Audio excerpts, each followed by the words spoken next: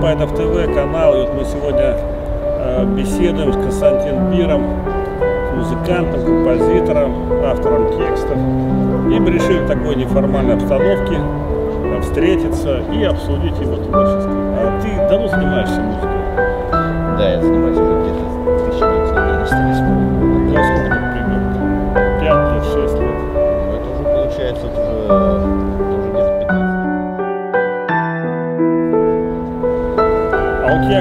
ты учился в музыкальной школе или что это было? Как ты к музыке пришел? Э, Давай поговорим в конце концов. Нормально. Ты же нормальный рок-музыкант. Какого хера ты в тень залез? У тебя прекрасная музыка. Я посмотрел твои клип, клип, который ты снимал, твою музыку посмотрел. Почему ты уходишь в тень? Почему ты в эфир не вылазишь, мать твою? Почему? Ну, а вы попробуйте сами вот так. Смотрите, попса кругом затмила все. Что еще говорить-то? Попса, попса, как говорится, и сложно выбраться. Тянешь, тянешь, и ничего не получается. Выкидываешь свое творчество, его просто плюют и все. Ты халтуришь, ты должен писать музыку с утра до вечера, у тебя прекрасная музыка. Ты должен рваться так к зрителю. Какого хрена ты сидишь, что делать-то далее? Как А. группа называлась ваша? Вот я смотрел клип, вас, как называлась, которая была? Экспансия.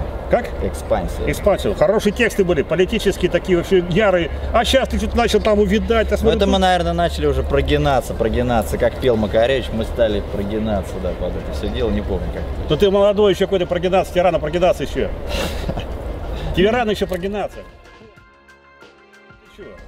Ну да, наверное. Наверное, надо, да, надо быть резвее, побыстрее, как говорится, все это делать. И наглее, наглее, надо быть наглым, наверное. Ну вот что-то как-то надо найти таких людей, которые нас будут тянуть. Вот так, таких же наглых найти. Ну, сложно. Убери в себе, вот если хочешь добиться успеха в России, убери всю эту свою интеллигентность, застенчивость и соответствие своей музыке, которую ты писал. Вспомни свои корни, вот эти музыкальные, когда ты был лохмат, вот эти черных очках. Я смотрел твои клипы, я просто потрясен был твоей, твоей музыкой. Прекрасная музыка. И вдруг Костя Бир, я сейчас смотрю, смотрю Костя, думаю, ёпта, Костя, почему ты уходишь с арены, сходишь? Ну, не знаю, меня что-то на лирику потянуло и, все. Ну а чем это вызвано? Что у тебя? Я не знаю, мне, э, наверное, наверное, захотелось мелодий каких-то, мелодий нежных. Я, может, подумал, что народу надо этих больше таких нежных мелодий, любви. Ну, в этом есть рациональное зерно. Я с тобой не могу против этого спорить. А может там связано все-таки с дочерью родилась, я дочь видел прекрасно. Может с этим связано тебе? Ну, я не знаю, э, есть ли, как говорится, цепь этих э, моментов. Просто, может быть, к- я просто, наверное, достал свои старые вот эти тексты, которые думал, что никуда не пойдут, и я решил их попробовать.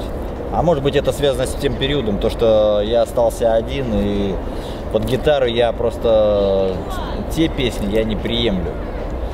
Сейчас я один на гитаре, как говорится, губная гармошка, я не знаю, я как-то не пробую. А у тебя с собой на? Нет, не с собой. Забыл. Но ты врежешь сюда все, сделаешь, да? Поставишь клипы. Я тебя прошу, я обращаюсь ко всем зрителям нашим. Вот у него есть хорошие наработочки, просто пусть врежет, и чтобы люди тоже увидели. Наши зрители увидели эти хорошие вещи.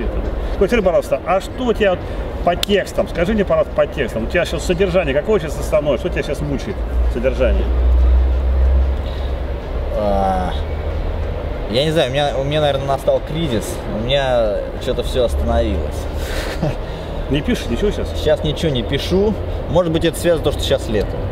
Хера мы тут снимаем, интервью берем, если ты не пишешь? Должен сидеть и писать, должен работать над собой. Сейчас я, сейчас я, сейчас я только в студию засяду и тогда уже. Сейчас чисто другой формат, формат не написание, а то, что у меня написано, наоборот, это Монтировать уже, швырнуть, да? да, да, именно швырнуть, швырнуть песню да, на студию. Мы сейчас как раз, э, я сейчас говорю с Алексеем Страйком на его студии, то есть это гитарист группы Мастер, легендарной группы Пилигрим. Ну, Вот он мне помогает записывать песни. То есть у сейчас такой творческий дуэт у вас получился, да? Ну, как дуэт, он там больше как звукорежиссер. Просто это человек, который, как говорится, ну, от Бога может сделать хороший звук и записать именно так, как надо. Несмотря на то, что он играет трэш там и так. Алексей Страйк. То есть ты считаешь, что на тебя зря наезжают, да? То есть ты как бы... Не-не, не-не, это, это как в анекдоте. Нет, пока пинка не дашь, не, поэтому надо. Может, я слишком расслабился, но как расслабился, ничего себе, ничего. Ну ты что ты писал, что пишешь сейчас, ты меня извини. Но, друзья мои, он писал такую музыку прекрасную и пишет сейчас. Вот я посмотрел на него, но это... Я просто к нему очень хорошо отношусь, и как к музыканту, и как к автору текста, поэтому я так по-отцовски с ним немножко это дело. Вы меня не принимайте это дело, что я вот так критикую сильно. Просто Костя надо разбудоражить немножко, так взять его разбудоражить. Да, Костя? Ну да, наверное, как Мюнхгаузена из болота вытащить за волосы. Нет, ты сам себя вытаскивай, я не люблю. Это не моя профессия вытаскивать. Моя профессия с тобой тебя со зрителем пообщаться.